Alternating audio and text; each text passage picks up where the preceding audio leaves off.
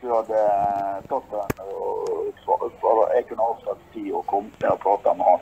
Det er en jævla løsningsorientert kraft. Måten at jeg fikk han Det var rett og slett jeg var i konflikt med noen fiskegreier. Eh, Og han var motstanderen, eh, på en måte. Og egentlig kunne han han Hvis han ville den gangen, så kunne han vært noe jævlig.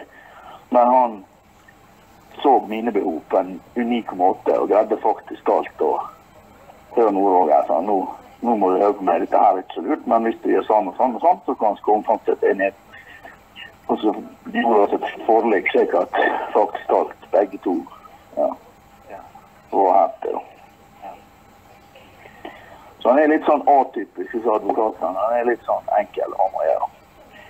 Altså, for å si det sånn, penger snakker enkelt og greit.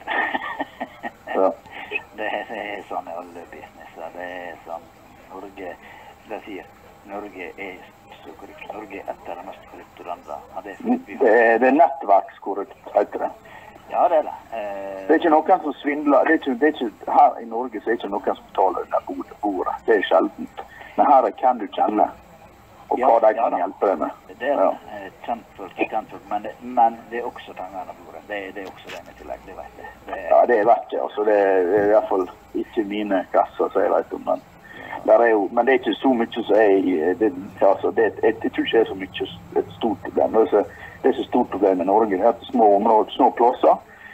Og så er det hvem du kjenner. Og hvis du kjenner rette mann, så er det kompis med deg, så kan du få til det meste. Men hvis du er uvenn med rette mann, da får du ikke til noe. Da sitter du der sånn.